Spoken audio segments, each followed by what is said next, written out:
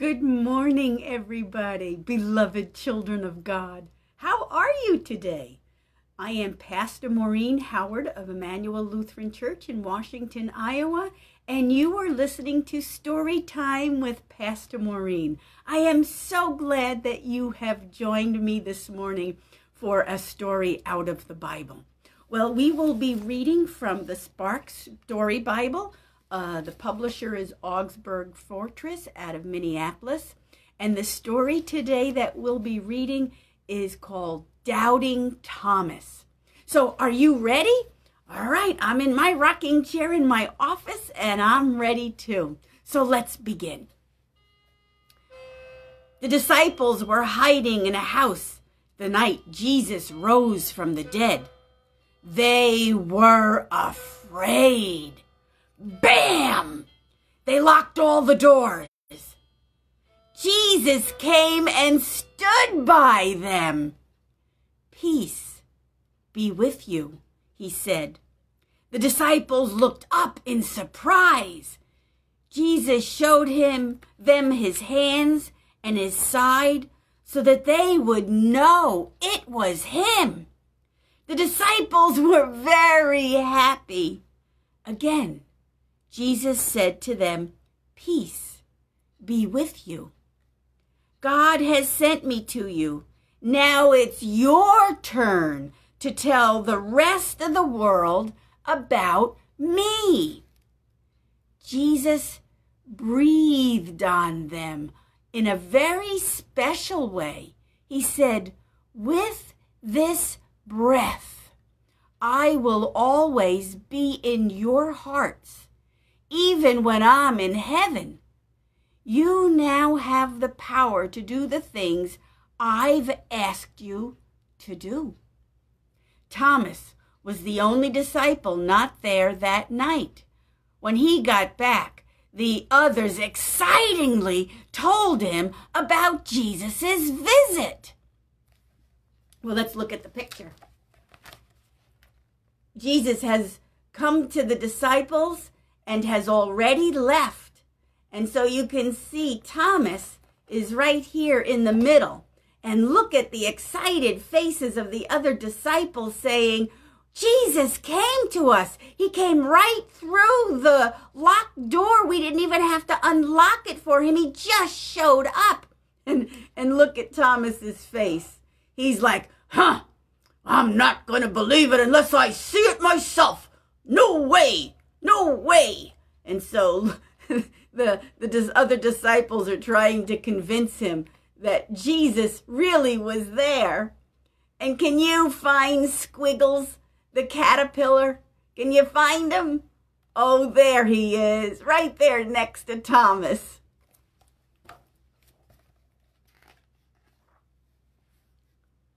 I don't believe you, Thomas said. I'll believe when I can touch Jesus' wounds. A week later, Thomas and the other disciples were in the same house. Jesus again and Jesus came again and stood with them. Peace be with you, he said to them. Thomas, Jesus commanded, come here. Give me your hands. Put your finger on the wounds in my hand. Put your hand by the wound in my side. Do not doubt any more. It's time for you to believe. Thomas's eyes popped. My Lord and my God, he exclaimed. Jesus answered him, You believe because I'm here with you and you've touched me. Think of those who have not seen me, but believe in me anyway. You should believe even when you cannot see it for yourself. And here's the picture of Jesus.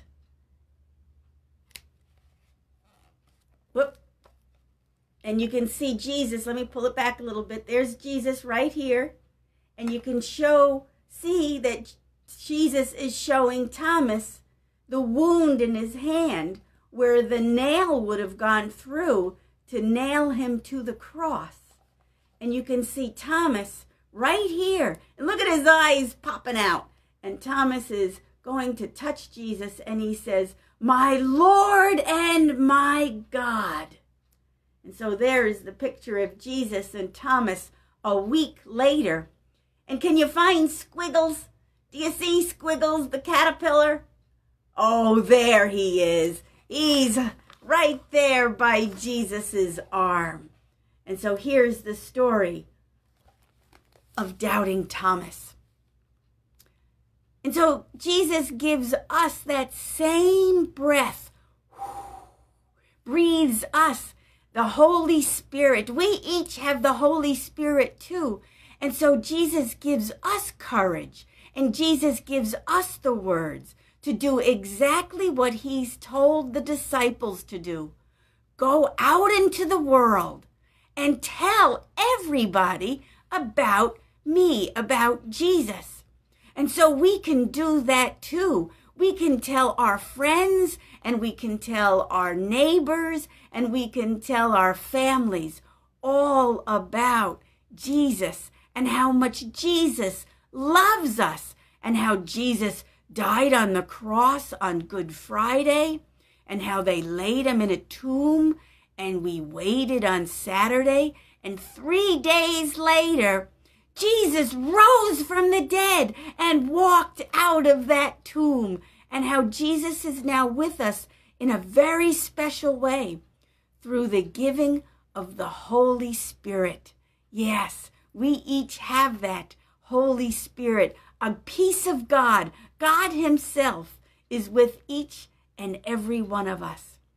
And so, children of God, you are deeply loved, and you have that job too to tell everybody, not to be shy about it, but to tell everybody about the love Jesus has for the world.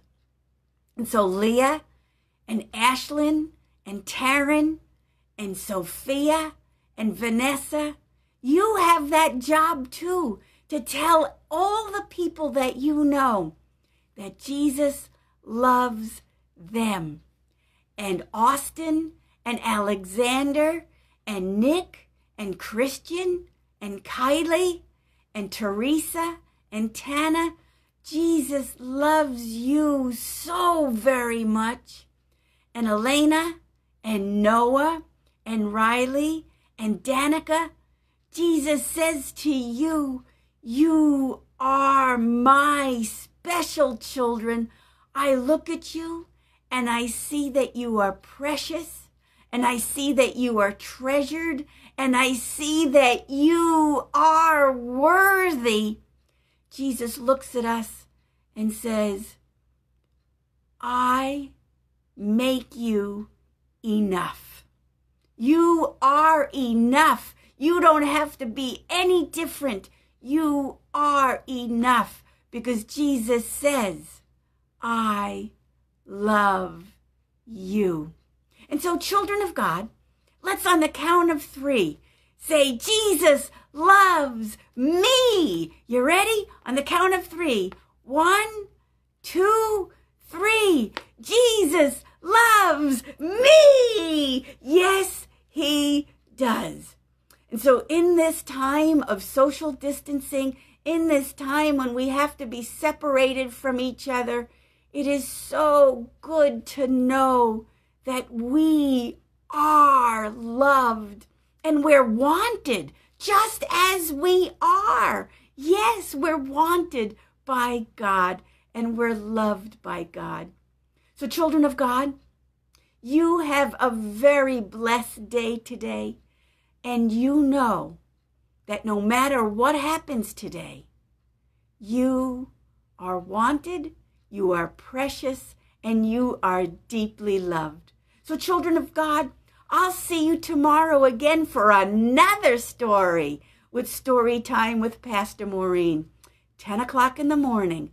You have a wonderful day because you are loved. Happy Easter, everybody. Happy Easter. Christ is risen. Christ is risen indeed. Alleluia.